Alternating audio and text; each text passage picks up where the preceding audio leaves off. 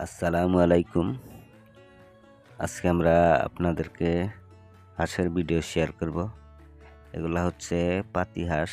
তো পাতি হাঁসগুলা কিন্তু এগুলা আসলেই অরিজিনাল দেশি যে হাঁস ছিল আগে, এগুলা না।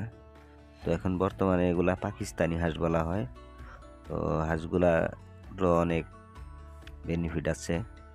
যেমন এগুলা কিন্তু ঠিকমতো খাবার পেলে তারা কিন্তু প্রায় নয় দশ মাস বা এগারো মাস পর্যন্ত ডিম দিয়ে থাকে।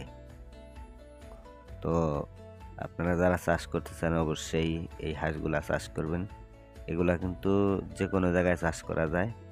যেমন আপনি বাড়িতে যদি ছোটোখাটো আশেপাশে হালকা অল্প কিছু পানি থাকে, সেখানে কিন্তু আপনারা হাঁসগুলা দিনের বেলায় রাখতে পারবেন।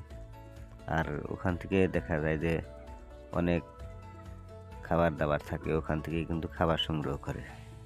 সকালবেলা হালকা কিছু দিলেই হয়, আর সারাদিন কিন্তু এমনিতেই তারা এখান থেকে খাবার সংগ্রহ করে। যেমন এখানে দেখতে পাচ্ছেন কিছু শাক সবজি আছে, তো এখানে পোকামাকড় থাকে, ওগুলা খায়। ওগুলা খেয়ে কিন্তু তারা মোটামুটি চলতে পারে।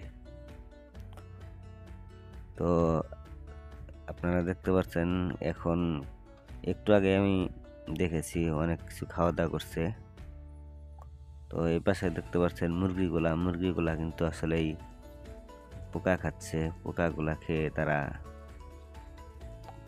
পোকা আসলে মুরগির প্রিয় খাবার আপনারা জানেন। পোকাগুলা দৌড়া দৌড়ে খাচ্ছে। গাছের পাতাও দুই একটা খায়। সব গাছের পাতা খায় না, আপনারা জানেন। ও এগুলা হচ্ছে পাকিস্তানি মুরগি আর ওগুলা হচ্ছে ওগুলাও হোয়াইট কালার ওগুলাও পাকিস্তানি কিন্তু এগুলা এক ধরনের কালার হয়।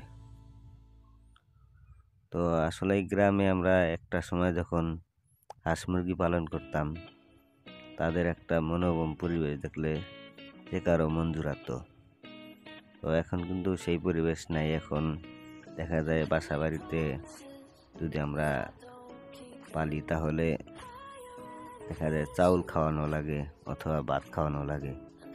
কিন্তু হাঁসের ক্ষেত্রে কিন্তু সেটা লাগে না। হাঁস কিন্তু দেখা যায় সকালবেলা হালকা খাবার দাবার দিলেই তারপর ছেড়ে দিলে আশেপাশে যদি আপনার হালকা কিছু পানি থাকে ক্ষেত খামারের মধ্যে যা আপনার সীমানা রাঙ্গিনায় কোনো জায়গায় থাকে, তাহলে ওখানে ছেড়ে দিলেই কিন্তু তারা খাবার সংগ্রহ করে সারাদিন খেতে পারবে।